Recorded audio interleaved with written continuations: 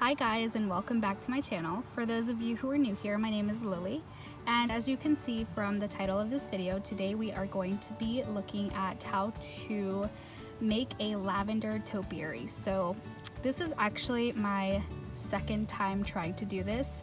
I have started one already which you can see here. It is doing very well.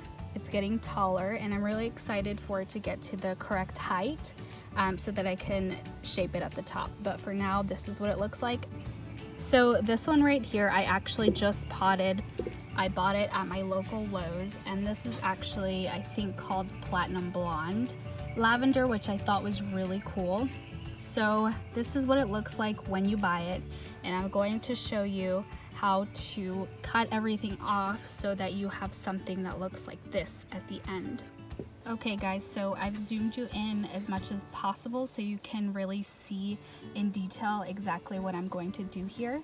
Um, the first thing that I do is I kind of play with the plant and spread it apart so that you can see like the individual pieces that are growing here, the individual stems. And I'm gonna pick the best one, the one that looks like it's pretty strong so that I can let just one grow. As you can see, there are many tiny ones, like, I'll push this down. Um, there's this one here, which doesn't look like it's very strong compared to this one. I'm really liking this one. Um, let's see. These are just, I mean, these are strong too, but I feel like they're already growing curved. I kind of want to take this middle one here. So what I'm going to do is I'm going to start cutting the whole plant away until I'm only left with this one standing, which this project is not for the faint of heart. It's like, oh, it makes me so sad to do this to the plant, but the topiaries look absolutely beautiful, so I'm just going to experiment. And then the cuttings I'm actually not going to throw away. I'm going to try to propagate them by putting them in water. So I'll update you guys on that too. All right, let's get started. So you wanna take some pruners that are clean and very sharp and you're gonna wanna get to the very, very base of the plant. All right do it.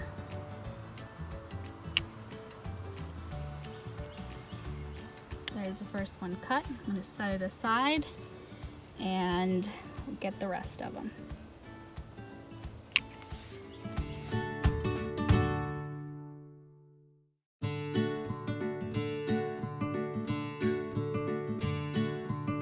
Okay, so this is what I'm left with and as you can see there's like just a big stem that was here. I'm just going to cut it as close as possible to this stem that I left standing.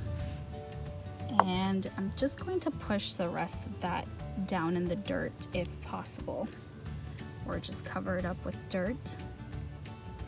Then I'm going to take my fingernail and I'm going to pinch off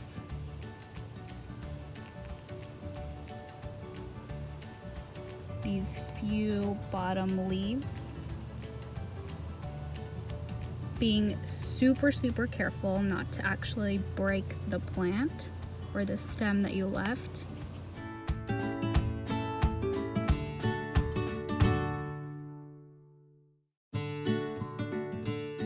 So this is all that I cut off to leave this and I'll show you.